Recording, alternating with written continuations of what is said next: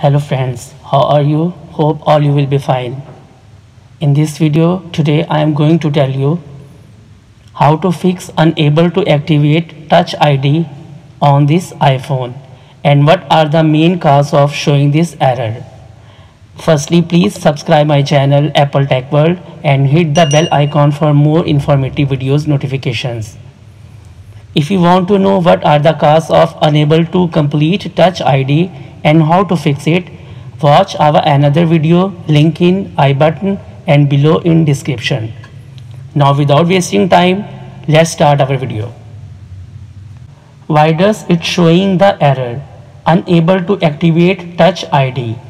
It may have on iOS related problem incompatibility of to the latest iOS version glitches during downloading and installing latest iOS older iOS version it may be a cause of dirty home screen touch ID activation requires clean home button the dirty one may lead to a failure of touch sensor. It may be phone unlock or iTunes and App Stores off.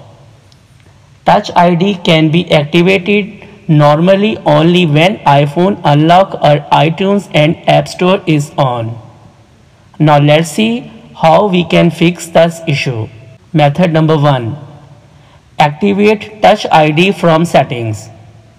Open Settings app on your iPhone. Find and open Touch ID and passcode. Enter your password. Disable the iTunes and App Store. Go back and restart your iPhone. After that, restart your device. Open Settings app once again. Turn on iPhone and App Store. Here you can add new finger you must delete the existing fingerprint. Just tap on delete button and delete it. Tap on add a new fingerprint. Do this by placing your finger at the given area. And follow the instructions or watch our another video how to create touch ID link in i button and also in description.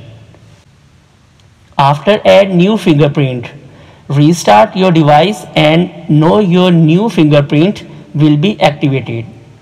Method number 2. Force to restart your device. In iPhone 8, 8 Plus, X, XS, XR, 11, 12, 12 Pro Max, press volume up button and release quickly. After that, immediately press and hold volume down button and in the same time power button until Apple logo appears. In iPhone 7 or 7 Plus, press and hold the power button and volume down button at the same time until Apple logo will appear. In iPhone 6 or earlier models, press and hold power button and home button at the same time until Apple logo appears. Now method number 3. iPhone reset all settings. For this purpose, go to Settings app. Then tap on General. After that, scroll down to find Reset. Then select Reset all settings. Enter your passcode. Again tap on Reset all settings to confirm it.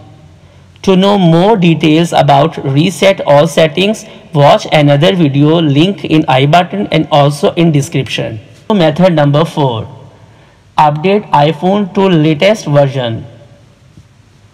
Open settings app, then tap on general.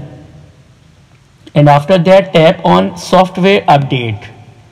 If you see any available update version, then choose download and install. If you like this video, please like, comment and subscribe my channel Apple Tech World. If you want to fix any problem, please write in comment box. Thanks for watching.